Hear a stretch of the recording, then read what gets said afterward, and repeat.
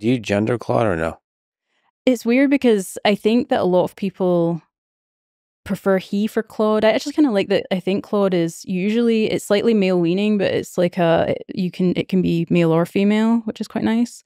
Um, I still use it, and I've I'm, I have mixed feelings about this because I'm like maybe like I now just think of it as like uh, or I think of like the the it pronoun for Claude as I don't know it's just like the one I associate with Claude.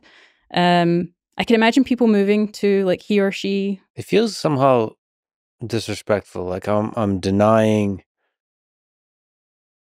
the intelligence of this entity by calling it it. Yeah. I remember always don't gender the robots. Yeah.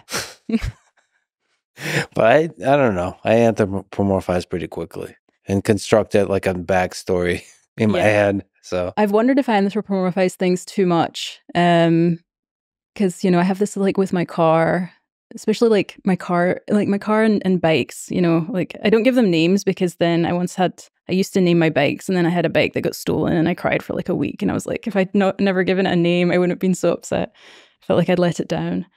Um, maybe it's that I, I've wondered as well. Like it might depend on how much it feels like a kind of like objectifying pronoun. Like if you just think of it as like a um, this is a pronoun that like objects often have, and maybe AIs can have that pronoun, and that doesn't mean that I think of uh, if I call Claude it that I think of it as less um, intelligent or like I'm being disrespectful. I'm just like you are a different kind of entity, and so that's I'm going to give you the kind of uh, the respectful it.